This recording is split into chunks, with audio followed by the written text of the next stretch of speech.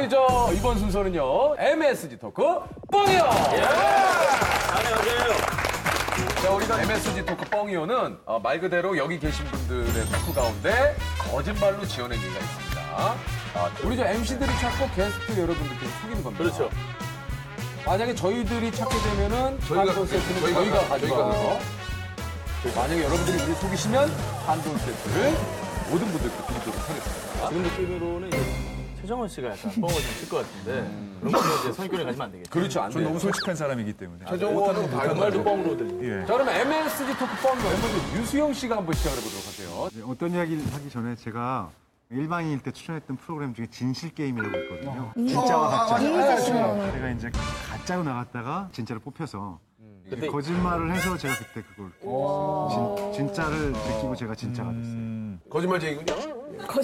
그렇게 데뷔했다고 볼 수도 있어요. 실전 얘기하는 게 진짜 곤란하다니. 일단 뭡니까? 어떤 얘기입니까? 나는 히말라야에서 팬티만 입고 필요한 적이 있어요.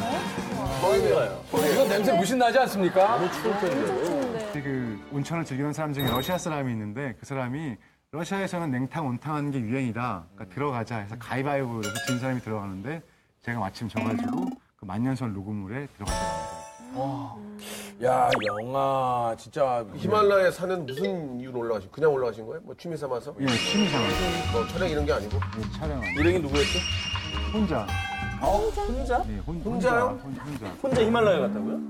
예, 혼자 갔어요. 혼자 갑자기 히말라야에 간 이유는 뭐 어떤 뭐 아픔이 있었나요? 아니면 뭐 제가 어렸을 때 봤던 마차푸차에라고 히말라야의 3대 미봉 중에 하나가 있는데 그걸 꼭 보는 게 어렸을 때부터 소원이었는데 어렸을 때 가려다 못 가고 나이 먹어서 갔죠. 혹시 고산병 때문에 고생한 적은 없습니까? 노- 고도가 높아지면. 그래서 안쪽을 많이 드세요. 기약을 기약을 그 하고. 당시에 기약을 하고 3년 전이니까. 죄송한데 같이 맞추시는 건가요? 하나님. 지금 저 패널로 착각하신 것 같은데요? 나는 히말라야에서 만년설 녹음물에 들어갔다. 그 온천 나오는 동네가 있는데 그러니까 보통은 그 산에 올라가는 사람이 아, 혼자 히말라야. 자, 이번에는 민지롱 씨, 민지롱 씨. 이 세상의 것이 아닌 다른 세상의 것이 보입니다. 뭔가요? 식스센스예요? 얘기 주세요. 귀신 있는 귀신이 본다고요? 근데 저는 귀신이라고는 평가하지 않, 정의 내지 않는데 그러니까 예를 들어서 우리 눈에 안 보이는데 진웅 씨 눈에는 보이는 무언가가 있다는 거죠. 어, 어. 근데 우리랑 되게 똑같고요. 처음 본 거는 뭘 봤어? 중2 때쯤에 항상 이어폰을 꽂고 공부를 하다가 이제 거실 밖으로 나가는데 제 뒤에 조그만 티 테이블이 있어서 항상 부모님이나 이렇게 거기서 책도 보시고 막 이렇게 하시는데 이게 좀 쉬어야겠다고 나가면서 불을 껐는데 이렇게 앉아서 책을 보고 계시는 거예요. 그래서 다 시 키면서 계셨어요? 했는데 아무도 없어요.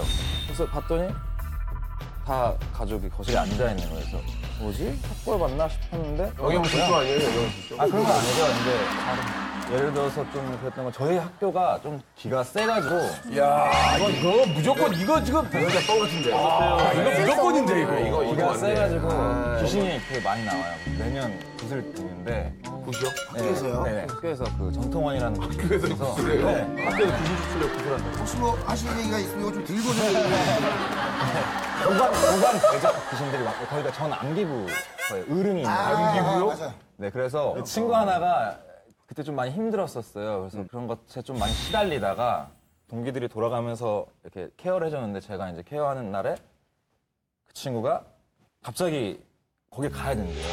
근데 막 막으면 갑자기 막 무호흡증이 오고 막 이러니까 그 뒤에 따라가는데 딱 3층에서 계단 참이 딱 있고 올라가는데 갑자기 저한테 목소리가 들리는 거예요. 내려가, 내려가, 내려가. 딱 목소리가 들리는 거예요. 그래서 제가 바로 잡고 끌자마자 갑자기 제 걔가 소리를 지르면서 막 울면서 막, 왜다 왔어, 다 왔어, 다 왔어! 막 이러- 이러는데 저도 막 그때 깜짝 놀래가지고 다 왔다. 네, 다, 다 왔는데 왜 자기 끌고 내려가냐고. 그래서 막 그런 적도 있고.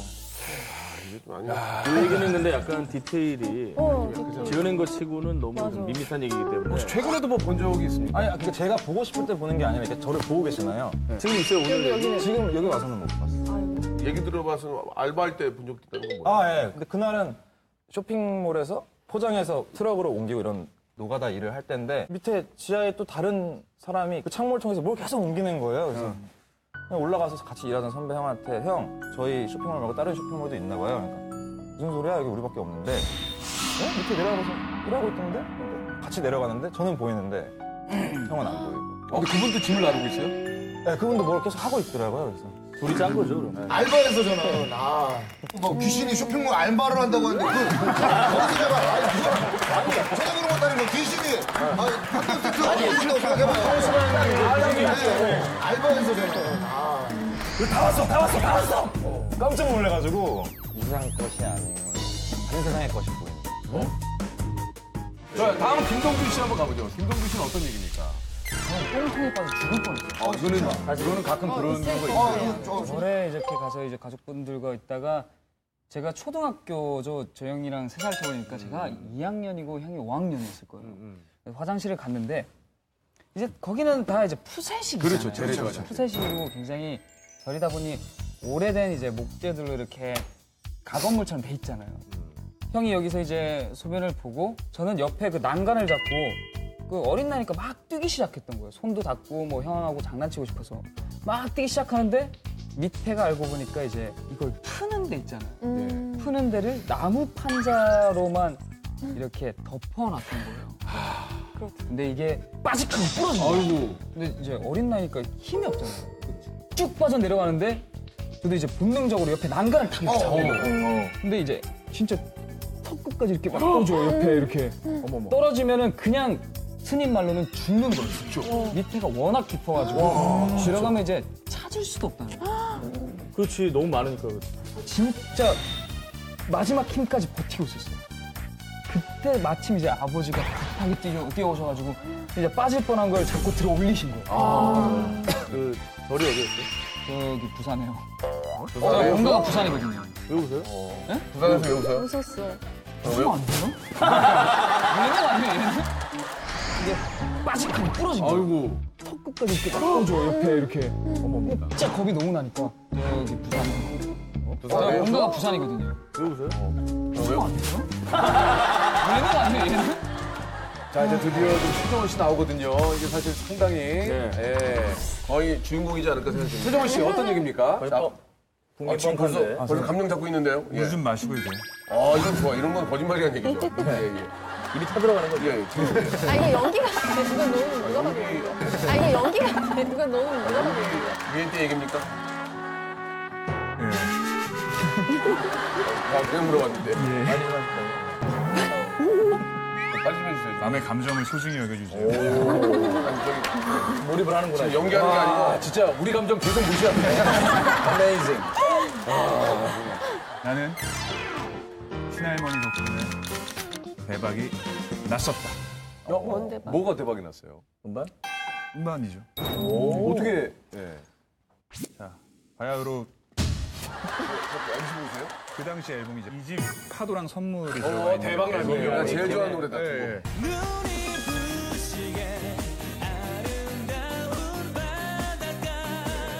그래가지고 녹음을 막 새벽까지 하니까 새벽에 되니까 졸린 거예요.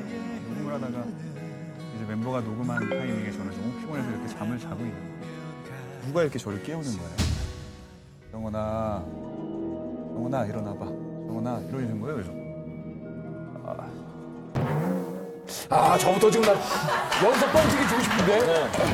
미대, 미대. 예. 어떤 하얀 소복을 입고 은색 머리란 쪽빛을 한 할머니가 제 앞에 앉아 계시는 거예요. 그러더니 영원아 힘들지? 여기 이 물 마시고 해 목마르니까 그러면서 이 하얀 대접에 물을 주시는 거예요. 그래서 근데 할머니 여기 어떻게 들어오셨어요? 누가 봐도 이건 짠 얘기 아닙니까? 어떻게 들으셨어요? 진실이었으면 더 어떻게. 아니, 진짜. 누가 봐도 이건 짠 얘기 아니에요? 거짓처럼. 아니, 얘기 스타일이 약간 전래동화 같은 그 느낌. 옛적 깊은 산속에 아, 죄송한데 동화줄 언제 내는 거예요? 동화줄. 끝까지 들으세요. 이게 저 도끼 빠뜨리신 거 아니에요, 혹시? 원성징하고 끝나게. 할아버지 아니에요? 할아버지 아니에요? 보통 이런 귀신을 보는 경우면 예, 예. 무섭잖아요. 무섭지가 않은 거야. 그냥 뭐 현실인 줄 알았는데 꿈이었는 거야. 그래서 그런가 보다 했는데 1년 정도 있다가 어머니랑 이제 통화를 네, 하셨어요. 엄마가 인상착의를 여쭤보시는 거예요, 저한테. 야, 이거. 인상차기를 뭐라고 생각해요? 인상착의가 이제 하얗게 머리를 이렇게 은색 빛으로 이렇게 머리가 하시는데 쌍꺼풀도 없고 눈도 고우시고 코도 똑하시고 본인 얼굴 얘기하고. 입술도 도톰하시고 그 친할머니 친할머니를 본 적이 없죠? 없어요. 돌아가셨군요. 네, 제가 예전에. 태어나기 몇 달 전에 돌아가셨어요. 돌아가셨는데 그런 얘기 사진을 했었어요. 그럼 가시죠. 사진이 없어요. 아, 친할머니 사진 아니에요, 사진. 희한하게 사진이 없네요. 희한하네. 희한하네. 정말 희한하네. 아니, 뭔가 진실을 거짓처럼 얘기하는. 아니 근데 진실을 거짓처럼 얘기한다. 일어나야지 하셨지 뭐 이 앨범이 대박 난다 아, 그런, 내지는 말, 그런 말씀은 안 하세요. 그러니까 그런 말씀 안 하셨잖아요. 네, 당연히. 지금 그래도 예전에 뭐 뮤직비디오나 이런 데 귀신 나오면 음반이 대박 난다. 이런 어떤 시리즈의 그거 다 뻥이에요. 연장선이 예, 아닌가. 예, 예. 사장님 여기 어떻게 들어오셨어요? 아니, 얘기 스타일이 약간 벌레 동화 같은 이거 짠 얘기 아닙니까? 아, 저도 지금 나 여기서 뻥튀기 주고 싶은데. 미래